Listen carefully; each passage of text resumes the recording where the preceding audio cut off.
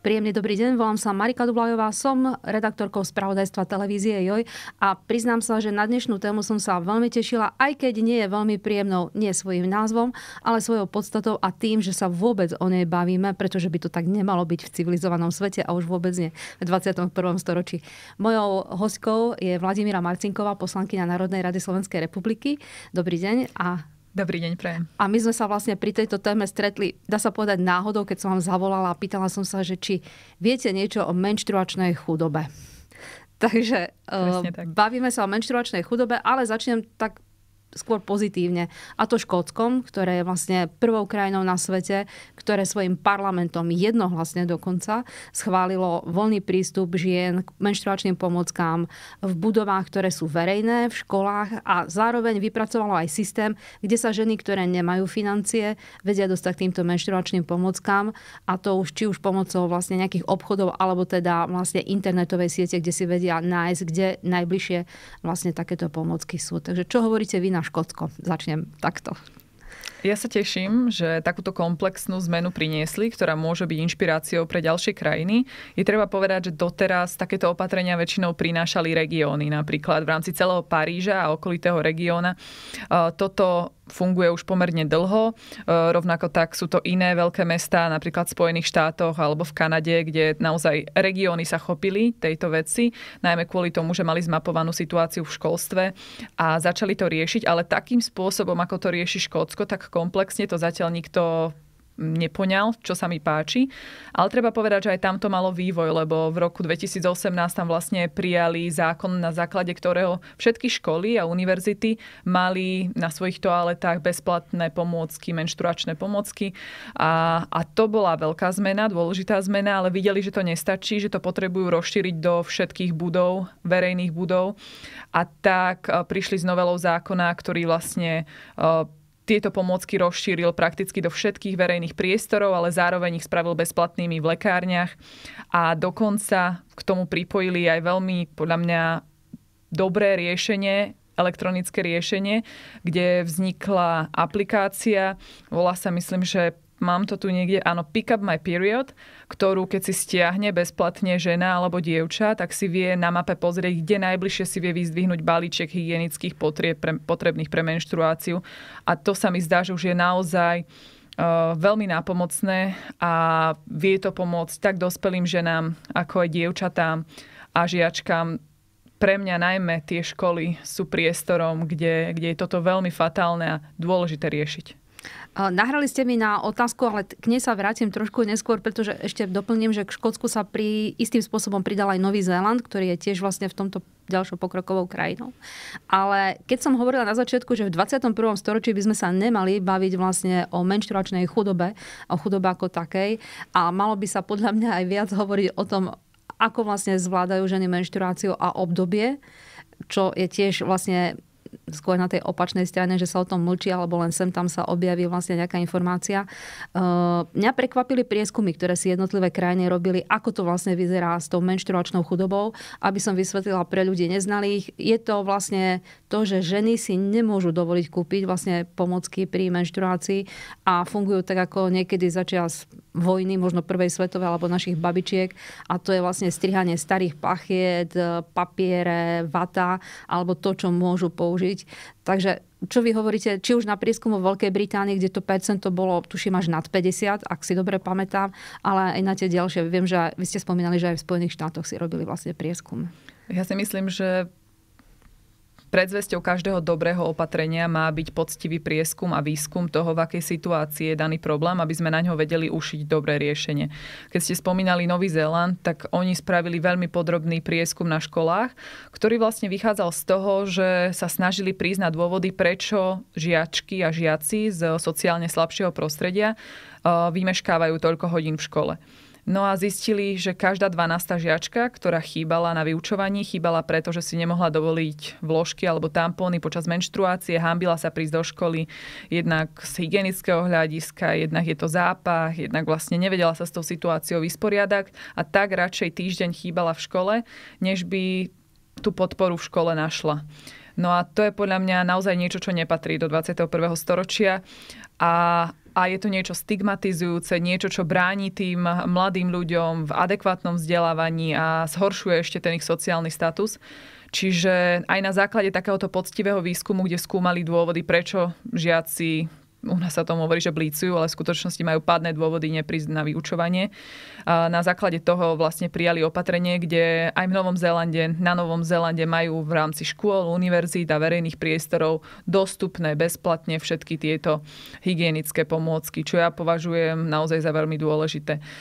Ja keď sa o tom bavím s kolegami v slovenskej politike, ja som silne pravicovej strane, momentálne v strane Sloboda a Solidarita a tam dbajú na to, aby všetká pomoc, ktorá je takýmto spôsobom poskytovaná, bola adresná, aby ju nedostávali ľudia plošne, ak ju nepotrebujú. Napríklad e, ja som schopná si to kupovať sama, tak tú pomoc nepotrebujem, ale aby bola tá pomoc zabezpečená tým, ktorí ju potrebujú. Lenže aj v takomto prístupe k politike, keď sa o tom bavíme, e, niekde nastávajú doslova problémy v tom, že ak by sme napríklad prišli k tým žiačkám v škole a dali im na lavicu nejaký hygienický balíček, že ty, ty, ty, ty si zo sociálne slabšieho mhm. prostredia, mm-hmm. tak tebe prišiel hygienický balíček. Vy im veľmi ubližujete, lebo ich stigmatizujete. Uh, ukazujete ostatným, že oni sú v tej vylúčenej sociálne zlej situácii a preto je podľa mňa veľmi dobré a aj také citlivé riešenie voči dievčatám a ženám, keď je to jednoducho prístupné na toaletách, keď je to diskrétne, tak ako máte na toaletách toaletný papier a nikto nepozerá, kto ho míňa, tak uh, rovnako by to malo byť zabezpečené uh, v rámci tých hygienických pomôcok, podľa mňa vedľa mydla a vedľa uteráka, niečo takéto, lebo je to prirodzená súčasť toho procesu uh, u žien a, a vtedy by to bolo naozaj aj citlivé, aj by to pomohlo tej situácii. Um Priznám sa, že keď som zhruba pred dvomi, tromi týždňami vlastne robila tú reportáž o Škótsku a zároveň sme pripoli k tomu aj ako to vyzerá na Slovensku, tak som bola na jednej strane milo prekvapená, pretože naozaj je veľa reštaurácií, kde už je automaticky vlastne tá pomocka pre ženu daná a nie je to tak, že si musíte prísť vypýtať. Takisto to majú školy, aj keď tam to funguje na mnohých školách tak, že je nejaký kontaktný človek alebo asi pani učiteľka, predpokladám, pre ktorú je jednoduchšie s rozprávať a ak potrebujú, tak prídu za ňou a dostanú menštruačné. Takisto viem, že aj v divadlách vlastne to niekde funguje, ale sú hotely, ktoré to ešte ani zďaleka takto nemajú, čo by tiež mohla byť prirodzená vec. Uh, viem, že vy ste si robili prieskum nie presne v hoteloch a reštauráciách ako my, ale práve v školách uh, a vlastne vzniklo to z iniciatívy vášho asistenta. Áno, ja mám mladého asistenta Filipa Bajtoša, ktorý u mňa začal pracovať vlastne počas vysokej školy, takže bol tesne po strednej škole a a keď som sa ho pýtala na to, čo by sme mohli spraviť pre stredoškolákov a vysokoškolákov, také praktické veci, s ktorými by sme im uľahčili život, veľmi ma potešilo, že on ako chlap si všimol, že toto môže byť problém vlastne v rámci našich vzdelávacích inštitúcií. A že áno, aj na Slovensku sú toto dôvody, prečo niektoré dievčatá neprídu do školy, alebo pre prečo sú stigmatizované, keď si jednoducho nemôžu dovoliť uh, vložku a nahradia to toaleťakom a zrazu je ich odev zaškvrnený alebo majú na stoličke nejakú krvavú š, š, š, škvrnu. To sú, to sú tak nepríjemné okolnosti pre tie dievčatá, Samozrejme z toho potom vyplývajú aj nejaké pachové stopy a tak ďalej, proste tie hygienické uh, dôsledky. A toto sú tak stigmatizujúce a tak ťažké uh, veci pre tie dievčatá, že keď už si to všimli aj chlapi, že proste toto treba riešiť, lebo nie je to pekné, nie je to príjemné, tak pre mňa je to dôležitým signálom a, a naozaj si dal záležať, porovnal uh, riešenia, ktoré majú v iných krajinách, pohral sa s tým, aké riešenia by prichádzali do úvahy u nás, čiže za spracovanie tejto témy naozaj vďačím jemu a myslím si, že nám dospelým, ktorí už sme opustili ten školský proces, nám niekedy chýba takýto stred s realitou, lebo toto je taká praktická vec, tak praktický problém, o ktorom sa málo hovorí a doslova menštruácia je tabu téma. Pritom mnohé krajiny dnes už riešia pre ženy dva dní v rámci mesiaca, kedy majú menštruačné voľno. Ja sama som ženou, ktorá má veľmi ťažkú menštruáciu a naozaj Vždy som sa bála, keď som napríklad bola študentkou, že mi to vyjde na nejaké skúškové obdobie alebo na nejakú konkrétnu skúšku a úplne ma to fyzicky odstaví. Toto sú problémy, ktoré muži nemusia riešiť, ženy to riešia, vždy je ten proces, ten cyklus už je individuálny. A podľa mňa je to niečo, o čom by sme nemali mlčať. Veľmi to ovplyvňuje našu produktivitu, veľmi to ovplyvňuje náš životný komfort. A čím viac o tom budeme hovoriť, tým viac tých riešení doslova natlačíme do verejného priestoru. Rovnako to súvisí aj so ženami po pôrode.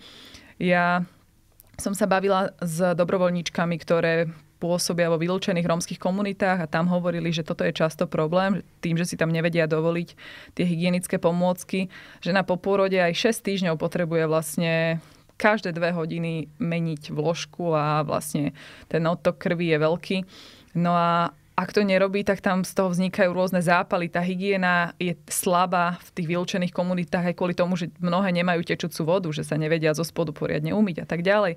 A k tomu pridáme ešte takéto problémy, že si nevedia dovoliť vložky alebo vlhčené obrúsky a nejakým spôsobom to v tom veľmi zraniteľnom období riešiť, tak v prípade akéhokoľvek zápalu žena automaticky stráca sílu a stráca niekedy aj možnosť laktácie a proste pridružené problémy, ktoré ešte zhoršujú tú ich sociálnu aj zdravotnú situáciu. Čiže naozaj bavme sa o tom. Toto je dôležitá otázka, lebo sa týka každej jednej ženy na Slovensku a to je vyše polovice populácie. Ja sa pristavím pri tom, čo hovoríte, že sa o tom málo rozpráva, pretože so stupom času musím povedať, že môj otec bol hrdina Mám svoj vek, čiže môžem povedať, že v časoch, keď som ja začínala s menštruáciou v 11 rokoch, poslať muža do drogerie, kúpiť e, vtedajšie, podotýka menštruačné vložky, čo nebolo žiadne žužo, labužo, ako sa to zvykne vravieť, e, bolo vlastne z pohľadu môjho otca hrdinstvo. Podľa mňa ho tie predavačky aj obdivovali, pretože aj dnes majú muži vlastne s týmto problém, chválim tých, ktorí nie. Ale nerozpráva sa o tom, nerozprávajú dokonca ani v rodinách matky s dcerami a nebavia sa ani kamarátky medzi sebou. Stále je to téma, ktoré ako keby sme sa bali dotknúť. Čím to je? Podľa mňa je to aj možno nejakým našim kultúrnym prostredím. Viete, na Slovensku je tabuizovanou témou aj sex a potom z toho vyplýva to, že máme dievčatá, ktoré nemajú dostatok informácií o tom, ako sa chrániť, aké dôsledky má nechránený sex a, a rovnako aj chlapcov, proste tá sexuálna výchova chýba a potom sú prekvapené, keď ostanú tehotné alebo keď dôjde k nejakej pohlavnej chorobe. Všetkým týmto veciam sa dá predchádzať uh, ochranou a ak o tom nebudeme hovoriť je množstvo rodín, aj sociálnych skupín, kde sa tie informácie nedostanú, kde vlastne toto považujú za niečo, možno kvôli náboženstvu, niečo hriešne, niečo, o čom si nevyhľadávajú informácie, alebo niečo, o čom sa doma nerozpráva. Ale môže to mať aj iné dôvody, jednoducho ťažká práca s textom, alebo vlastne nejaký nízky vzdelanostný stupeň. A práve preto by sme sa mali zaujímať o to, aby, aby mali všetky potrebné informácie ľahko dostupné aby to nebola tabuizovaná téma, aby sa nebali opýtať, aby ich nikto nevysmial. Ja si pamätám, eh, na strednej škole sme mali veľmi, veľmi osvietenú biologičku, ktorá, ktorá naozaj pomerne dlhý čas sa u nás venovala téme reprodukcie a, a preberala s nami všetky naše zvedavé otázky a bolo, bolo to zaujímavé vidieť, že my ako puberťáci sme prvýkrát s nejakým dospelákom veľmi otvorene o týchto témach hovorili. Mne sa zdalo, ako keby nikto o tom doma s rodičmi nehovoril a prvý nejaký taký človek, eh, ktorý ponímal nejakú autoritu a otvoril túto snému s nami, bola osvietená učiteľka. No a ja si myslím, že toto je práve priestor škola, kde by overené informácie o tom, aj ako sa starať o svoje zdravie, mali žiaci dostávať. Uh... Vrátim sa do škótskeho parlamentu. Začala to žena. Treba to povedať. Nebol to muž, začala to žena. Dosiahla niečo neuveriteľné z môjho pohľadu. Viem, že v Česku Piráti sa ujali vlastne tejto témy. Um, netuším, akým pokrokom uh, to bude pokračovať. Čo tak Slovensko? Máme šancu niekedy sa o tom verejne rozprávať? Ja si myslím, že už sú dve strany politické, ktoré o tom diskutujú. Ja za stranu SAS a všímam si, že aj Progresívne Slovensko o tom veľmi aktívne hovorí, čiže toto, toto už samo o sebe je dobrým signálom, že sú tu dva politické subjekty, ktoré toto vnímajú ako problém. Ale podľa mňa je veľmi dobrým signálom to, čo urobil pán Lunter v bansko kraji, ktorý potom, čo uvidel, že toto je téma, toto je problém, tak veľmi promptne zareagoval, vyčlenil na to v rozpočte 60 tisíc eur, čo naozaj pre župu akože nie je veľký balík peňazí na takýto fatálny problém. A v inštitúciách, verejných inštitúciách, ktoré spadajú pod župu, vlastne dnes už nájdete v bansko kraji či na stredných školách, či na nejakom okresnom úrade tieto pomocky zdarma. Čo vidím ako problém je, že naozaj bol to župan, ktorý si toto zobral pod, pod seba a neboli to samozprávy alebo dokonca nemáme nejaké presnejšie dáta, ktoré by sme mohli použiť na celoštátne riešenie, lebo ja vnímam, že tento problém treba začať riešiť už naozaj na základných školách. Dnes už 11-ročné dievčatá majú menštruáciu a, a práve tam musíme naozaj im tie hygienické návyky nastaviť, pomôcť, ak nemajú prostredie doma, ktoré, ktoré by toto zahrňalo. Čiže poňať do toho aj, stre, aj za základné školy, nielen stredné, je podľa mňa kľúčové. A potom samozrejme systémové riešenie to nie je komplexne, lebo tak ako v Škótsku prišli na to, že to nestačilo, keď to dali do tých verejných škôl a univerzít a tak ďalej a potom to rozšírili aj do lekární, tak podľa mňa každé takéto opatrenie čiastkové ukáže, že časom si vyžaduje viac, ale ten prvý krok je dôležitý, tá prvá lastovička, ktorá môže inšpirovať ďalších. Len hovorím, chýbajú nám dáta. Ja som sa tiež nevedela oprieť o žiaden výskum, keď som sa o túto tému zaujímala. A my potrebujeme vedieť, aký zlý je ten problém, aby sme vedeli vyčísliť, koľko by nás stál, keď ho začneme riešiť. Vidíme, že v rámci župy to je 60 tisíc eur, čo naozaj akože nie je veľa, keď sa pozrieme na stredné školy a verejné inštitúcie. No potrebujeme vedieť, koľko by to stalo napríklad na celoštátnej úrovni. A to je dnes ťažko zistiť pretože vieme sa opierať možno, možno len o čísla, ktoré by zahrňali chudobou ohrozené dievčatá. To je naozaj taká bublina zatiaľ, z ktorej neviem spraviť presný výpočet. Viem, že pán Lunter sa radil s kolegyňami, on si urobil vlastne taký prieskum, že či by tento návrh vlastne bol prijatý a tie mu zatlieskali svojím spôsobom. Vlastne ako dlho to bude trvať, neviem, pretože aj župa vlastne zverejnila, že zatiaľ je to mm, pokus. Uvidí sa, ako dlho sa im to podarí vlastne udržať. Ďalšie župy sa nepridali, čakajú, ako dopadne táto, aspoň podľa vyjadrení, ktoré som si prečítala v jednom z denníkov. Ale čo mňa teda um, ani nie, že zarazilo, v podstate už ani neprekvapilo. Boli reakcie eh, v denníku, kde sa písalo vlastne o tejto iniciatíve bansko župy a reakcie ľudí. Priznám sa, že niekedy netuším, kde je tá zloba v ľuďoch, pretože toto nie je mm, podľa mňa téma, ktorá eh, je nejakým tabu alebo niečím, čo sme si vymysleli. Je to niečo, čo sprevádza ženu pomerne dlhý eh, čas jej života Takže neviem, prečo toľka nenávisť voči jednému opatreniu alebo jednej pomoci. Ja mám pocit, že to nie je voči jednému opatreniu, ale že nám tu bubla akási nespokojnosť, ktorú ľudia pretavujú do nenávisti už pomerne dlho. Ja si to všímam. Ja robím naozaj opatrenia, ktoré podľa mňa akože nie sú nejakými konfliktnými témami. Dlhodobo sa venujem právu detí na to, aby mohli mať v nemocnici pri sebe rodičia, keď sú hospitalizované, aby tam neboli same. A dokonca aj takéto opatrenie, ktoré vlastne je citlivé voči deťom, dokáže v ľuďoch vzbudiť rôzne nálady a, a hneď v tom vidia, že no a keď si predstavím, že by som ako matka bola vedľa nejakej inej matky, ktorá ešte uh, by nebodaj mala inú farbu pokožky a tak ďalej, tak už ich to poburuje.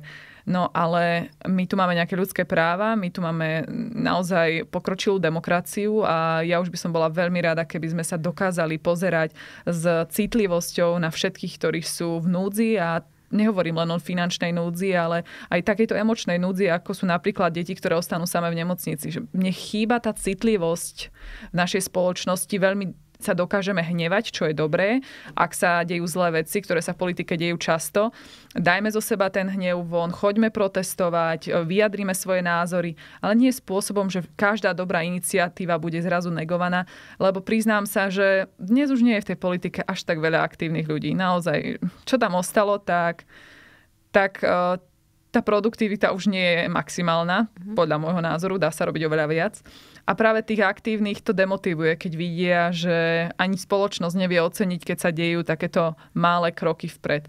Takže je to potom kontraproduktívne voči tým občanom, keď to sami odsudzujú, lebo ten pokrok sa dá robiť len takto, krôčik po krôčku v takýchto, v takýchto možno malých, ale dôležitých posunoch.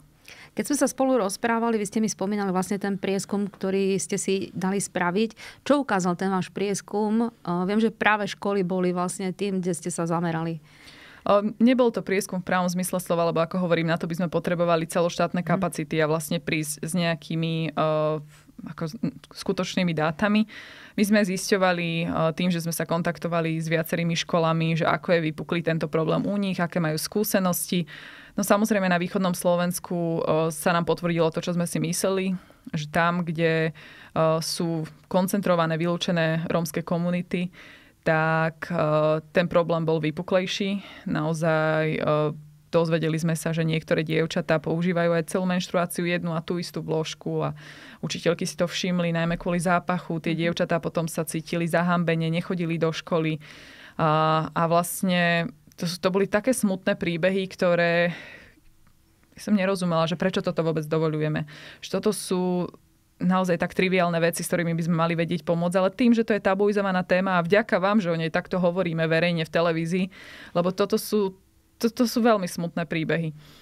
No a to, tie dievčatá nemôžu za, za chudobu, za to, kde sa narodili a, a ja si myslím, že je veľmi dôležité im pomôcť a to sú naozaj malé peniaze, ktoré by sme do toho potrebovali investovať.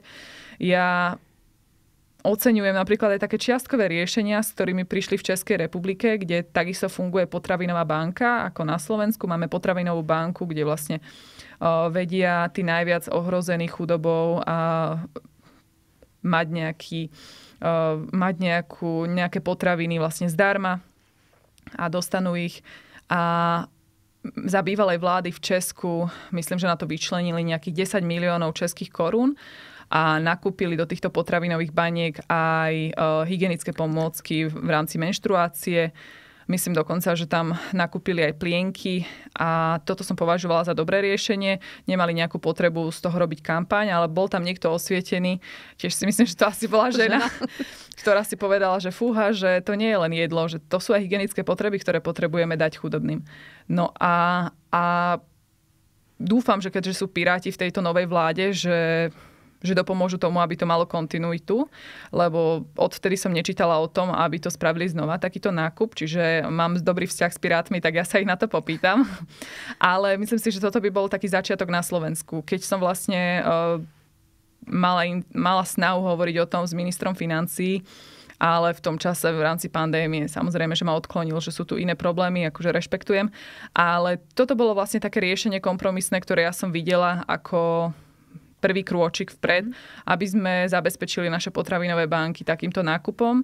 A potom sme sa mohli baviť o ďalších riešeniach, ktorým by podľa mňa musel predchádzať ten prieskum, poctivý prieskum, že aké kvantum vlastne dievčat je ohrozených. A aj žien, dospelých žien, ktoré sú sami a sú samoživiteľky. Presne tak, aj žien ohrozených menštruačnou chudobou, takže tam mi naozaj chýbali čísla, aby som vedela odhadnúť, koľko by nás to stálo, lebo vy keď prídete s ministrom s nejakým nápadom, prvé, čo ho zaujíma, koľko to bude stať. Mm-hmm. No ja keď nemám dáta, ja neviem povedať, či to bude 5 miliónov, či 10 miliónov. Pozerala som sa na iné krajiny, porovnateľné s tou našou, kde v jednej to stálo 5 miliónov, v druhej 7, čiže nebavíme sa o nejakých veľkých číslach. Naozaj toto nie sú položky, ktoré by rozpočet výrazne zaťažili a majú akože naozaj že veľký dopad aj na to zdravie ženy, lebo keď tá hygiena je zanedbaná v týchto kritických momentoch, tak potom aj z nášho telefonického prieskumu viac menej vyšlo, že potom to má dôsledky napríklad do rôznych vaginálnych infekcií a tak ďalej. Čiže toto je naozaj vec, ktorá sa týka toho štandardu a nejakej zdravotnej prevencie, ktorú tak či tak potom bude musieť náš zdravotný systém financovať, ak bude akutná.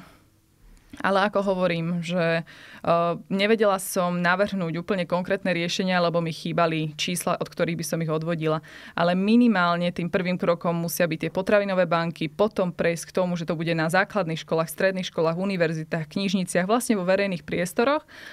A keď sa s tým spoločnosť vžije, tak podľa mňa to, čo uzakonilo Škótsko, a treba povedať, že jednohlasne, že sa nenašiel ano, nikto, kto by to spochybňoval. Toto je veľmi raritné. Akože na Slovensku ja si, si pamätám možno pár zákonov, ktoré prešli jednohlasne. Uh-huh. Že je dôležité toto vysvetliť naprieč celým politickým spektrom ľuďom, že toto je niečo, na čom sa musíme shodnúť, lebo ženy trpia v tomto.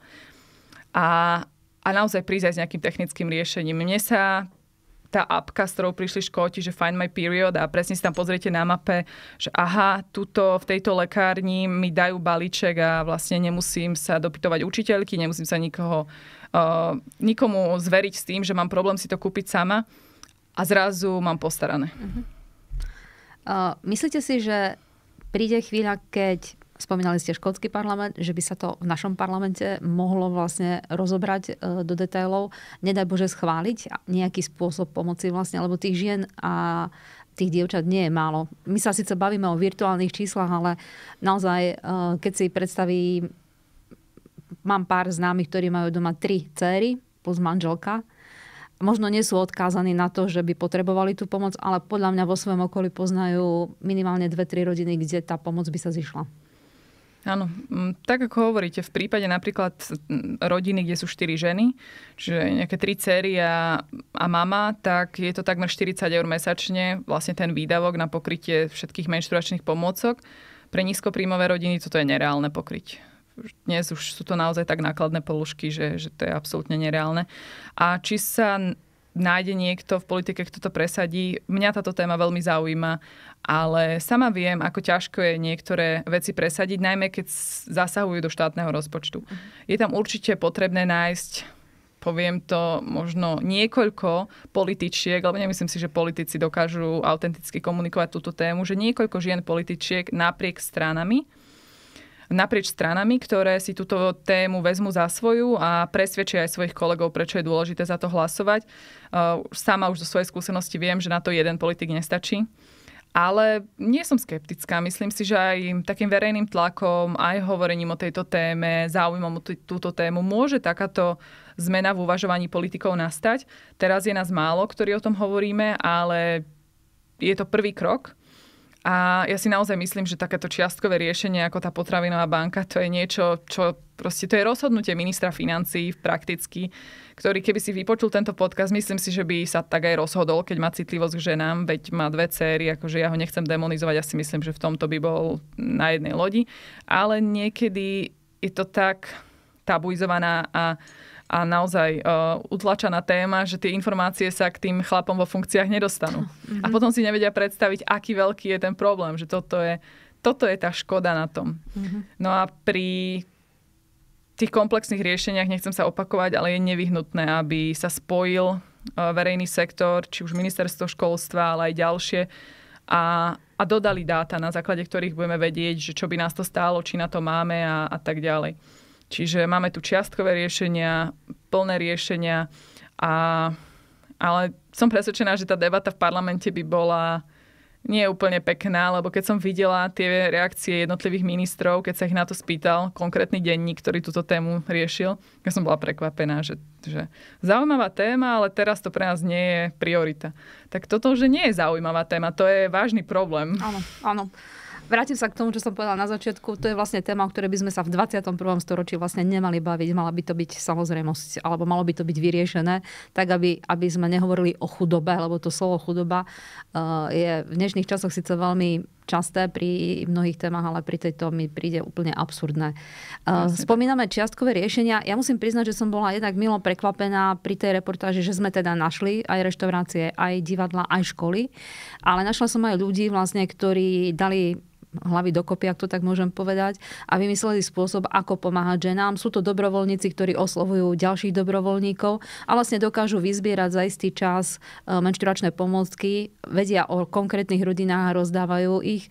Viem, že sú to aj bezobalové obchody, ktoré takto fungujú. E, máte vy podobné skúsenosti alebo viete o týchto ľuďoch? Ja mám s NGO sektorom a vlastne s mimovládkami tie najlepšie skúsenosti v skutočnosti, že naozaj tam, kde štát zlíháva alebo má dlhodobo zatvorené oči, tak sú to práve mimovládky a dobrovoľníci, ktoré tieto diery v našom fungovaní plátajú.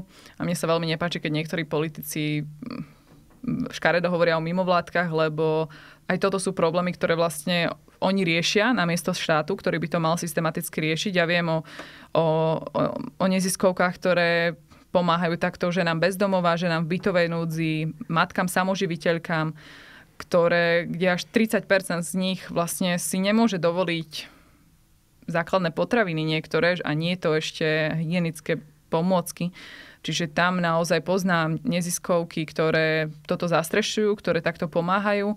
A ja som si veľmi želala, aby mohli svoju energiu venovať do iných vecí a aby sa o toto staral štát, lebo toto pre štát naozaj to nie sú veľké položky, toto nie je veľký náklad, to je to je tak málo a, a pritom, vidíte, na to treba siahodlhé procesy, aby sme k tomu dospeli. Musím povedať, že aj v Škótsku to nebola otázka jedného či dvoch rokov. Tuším, že sa to začalo v 2015 alebo 2016 a trvalo chvíľu, pokiaľ sa to dostalo vlastne aj na verejnosť, pokiaľ sa o tom začalo diskutovať, pokiaľ sa to dostalo do parlamentu. Uh, bude by to u nás trvalo len toľko. Áno. Uh, potravinová banka je určite dobrý nápad. Uh, pokiaľ ide o aplikáciu, ja som za, pretože v dnešnej dobe vlastne skoro každý má možnosť, až na naozaj ľudí, ktorí si nemôžu dovoliť tieto veci prístup. Ale myslím si, že istú rolu by mohli zohrať aj obvodní lekári napríklad, e, ktorí by vedeli pomôcť, alebo lekárne, aby vedeli pomôcť vlastne s týmito vecami. Áno, mne sa práve preto to Škótsko páčilo, lebo úplne komplexne poňali ako keby všetky miesta, kde sa človek tomu vie ľahko dostať, keď už to die, dievča alebo žena navštevuje univerzitu alebo školu, tak to vie vyriešiť tam. Ak ide o ženu, ktorá vlastne nevyskytuje sa v týchto priestoroch, vie ísť do lekárne a dokonca majú aj tú apku, kde si viete veľmi dobre pozrieť, kto je ako zásobený a, a viete vyriešiť, aj keď ste štvorčlenná rodina, proste tento problém a nestane sa vám, že vám povedia, že dneska pre vás balíček nemáme. Čiže toto mi príde ako naozaj že komplexné riešenie od A po Z. Ale áno, dobre ste povedali, že sa to vyvíjalo. Ja sama viem z parlamentu, že keď sa o niečo snažím, tak uh, to chce čas. Momentálne sa, sa veľmi dôsledne venujem právu na sprievod rodičky pri pôrode. A to len uvediem ako príklad, že že pripraviť tento zákon tak, aby sa na ňom zhodla veľká časť parlamentu, vlastne trvalo nejakých 10 mesiacov. Potom ten samotný legislatívny proces, prvé, druhé, tretie čítania a tak ďalej, to je, to je 3 mesiace. A, a takáto zmena presahuje jej príprava, rokovanie a tak ďalej vyše roka. Keď máte parlamentné funkčné obdobie 4 roky a naozaj pracujete na niekoľkých zákonoch a každý vám zaberá takýto čas, tak e, potom to aj vypovedá o tom, aké máte možnosti, koľko toho viete za tie 4 roky spraviť. A, a nedá sa toho spraviť veľa, lebo tie procesy takto trvajú. Takže aj pri takejto zmene uh, určite si ju treba dať za prioritu. Ja si myslím, že to je aj úlohou nás, žien, aby sme túto tému otvárali v parlamente ale netreba čakať, že to bude zmena zo dňa na deň. Samozprávy to vedia riešiť takýmto spôsobom, ale štát nie. Štát na to potrebuje určité regulácie a, a preto sa o tom treba začať baviť a ja si myslím, že je to zmena, ktorá by mohla byť sprocesovaná uh, reálne aj s nejakým dátovým podkladom do roka bodaj by ste mali pravdu. Držme si prsty v tomto smere a držme si prsty v tom, aby vlastne pojem uh, menštruačná chudoba časom úplne vymizol, pretože uh, predstaviť si to, čo vlastne opísali aj noviny a čo vlastne, o čom som hovorila ja, že ešte v dnešnej dobe, keď máme k dispozícii najmodernejšiu techniku, najvoňavejšie parfumy a najdrahšie auta, riešime základnú ľudskú potrebu v podstate pri ženách, je, je smutné, veľmi smutné. Je to tak. A ja vám ďakujem, že ste túto tému otvorili. Veľmi, veľmi je to treba. Ja ďakujem za doplňujúce informácie. Rozprávali sme sa s Vladimírou Marcinkovou, poslankyňou Národnej rady Slovenskej republiky o menštruačnej chudobe. Ak nás podporíte, budem veľmi rada. Pekný deň. Ďakujem pekne.